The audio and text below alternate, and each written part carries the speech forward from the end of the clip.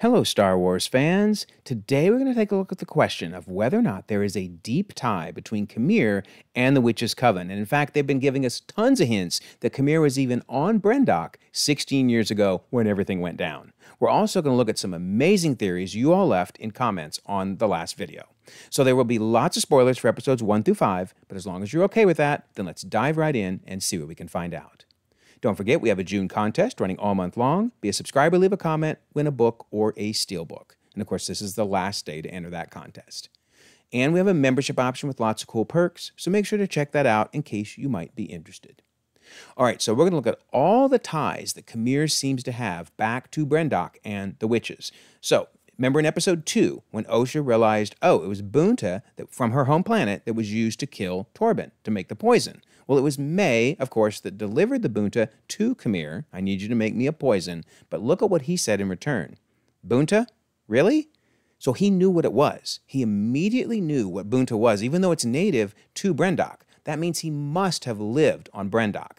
Or he wouldn't have known that, right? And he knew exactly how to make a poison out of it. Very interesting. Then, oh my goodness, what a great theory someone left on the triangle imagery. I left a comment of what what was up with that? Why did he kill Jackie, R.I.P. Jackie, with the triangle imagery?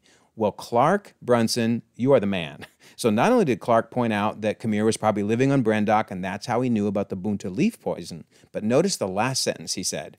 Also, the triangle stab on Jackie may connect with the witches too because the coven had triangles all over. And they did. I forgot all about that. Remember the notepad? I thought it was so weird. Number one, big time focus on it, right? They put a big focus. And I think what they were trying to say, oh, look, she draws images of the Jedi, and this is Osha's notepad. But there were a couple things going on here. Yes, she drew images of the Jedi, but she drew them in a triangle notepad. like, why do you have a triangle notepad?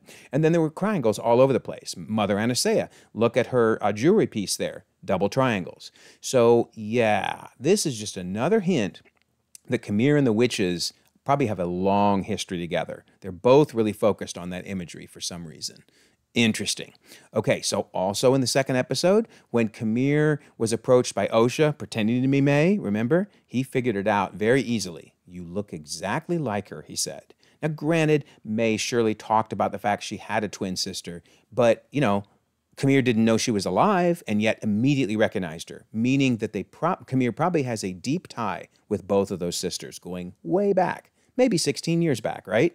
Then there's tons of things in the latest episode they showed us. Qimir could quote unquote get into your head, Yord says. And of course, Osha says, oh yeah, my mother could do that, get inside a Jedi's head, referring particularly to Torbin, but I also think we're going to find out to Mae. But yeah, this is another tie between Qimir and the witches. And then when um, uh, Qimir sees Sol, he says, Master Sol, you don't remember me? And of course, Sol says, I sense something familiar. Now, he could be talking about this scene from episode two, uh, where Qimir, uh, where they met up with Qimir, right? And Qimir playing the dunce. He was so good at that. Please, please don't do a memory wipe thing or whatever it is you guys do right? But I don't think so. I think it goes back deeper than this. I think Sol and uh, Qimir do have a deeper history. So um, then when Sol says, What master keeps his face from his pupil? The fact that Qimir says, You tell me, you know, he's basically saying, You're the one keeping your true face from Osha. So yeah, Qimir knows a lot about what Sol did. And then also, uh, when um, Sol says, Show your face, he, he uh, retorts back with, and let you read my thoughts. So this is interesting. A lot of people have said, well, is it the mask doing it? Is it something else? So I did want to point out StarWars.com made this new article on the stranger's helmet. And notice it says twisted metal forms a sinister smile on the cortosis helmet. So now we know it is cortosis that masks the identity of the stranger and keeps force sensitives from peering into their thoughts.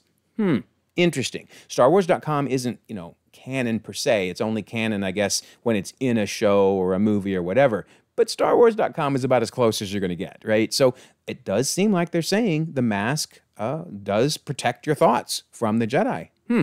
Very, very interesting.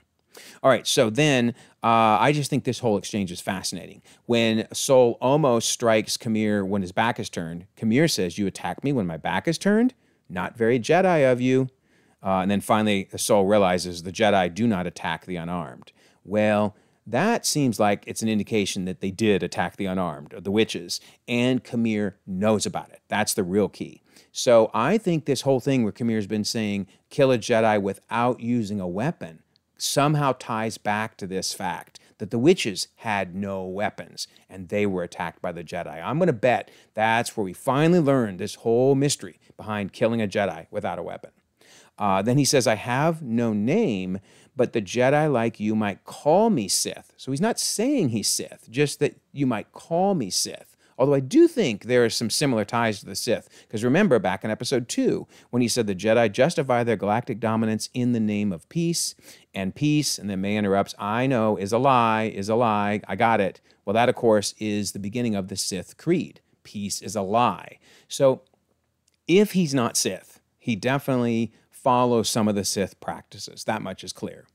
Uh, but then this is the real key. He wants the freedom to wield his power the way he likes without having to answer to Jedi like you.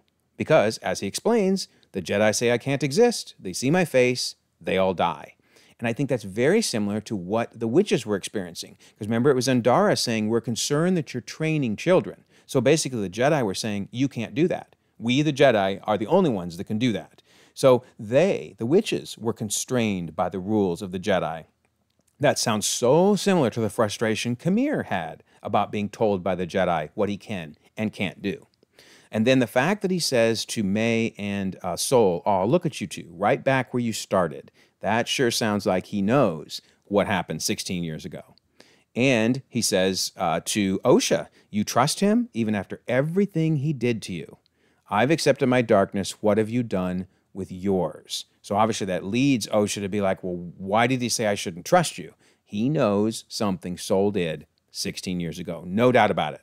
And of course, Sol says, I'll explain. Yeah, we are we are really waiting for that explanation. I can't wait for that. But so one theory that a couple people, Eduardo and G. Higgs, have thrown out is that maybe Qimir was Sol's Padawan. I think he was Sol's original Padawan, says Eduardo. G. Higgs says perhaps he was a Padawan during the raid on the witches but was left behind. So either he was Sol's Padawan or maybe he was somebody else's Padawan. Interesting theory, interesting idea. I mean, there was some reason he was on uh, Brendok, that's for sure. Was he just working with the witches already, or did he come with the Jedi? And then also notice Eduardo in his first sentence starts talking about a tie with uh, Mother Koril and also Darth Plagueis. So let's talk about that a bit. Is it possible that Qimir is tied into this Sith lineage, right? You have uh, Tenebrous, then uh, Plagueis, and then, of course, Sidious. And that's kind of the order that they went uh, of the most recent Sith masters. Uh, but Tenebrous, what's interesting about him is he actually broke the rule of two and he had Venamis also as uh, his apprentice, if you will. At the same time, he had Plagueis. So Tenebrous himself broke the rule of two. Did he maybe break it with more than just Venamis? And is Qimir working with Tenebrous? Hmm, interesting. But I love this theory. This last theory is so stinking cool. Is it possible that Qimir is tied to Abeloth? So notice the teeth.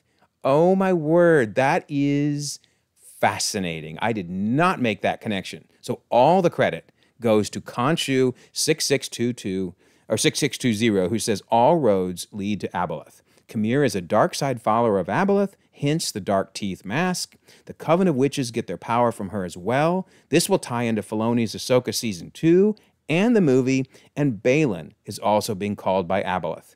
Just a theory. Well, Khonshu, it is just a theory, but it is a darn good one.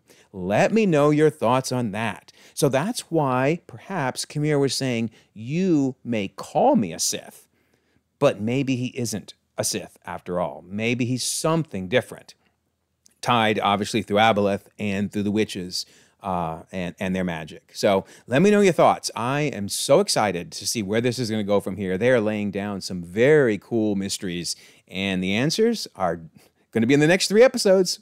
That's for sure. All right, leave your thoughts. Let me know what you think. Also, don't forget June contest. Be a subscriber, leave a comment, win a book or a steel book. And of course, there's that membership option in case you're interested in that. And I always mention the Discord. Here we are talking about uh, how Manny, who was so good as Qimir, see, that dude is jacked.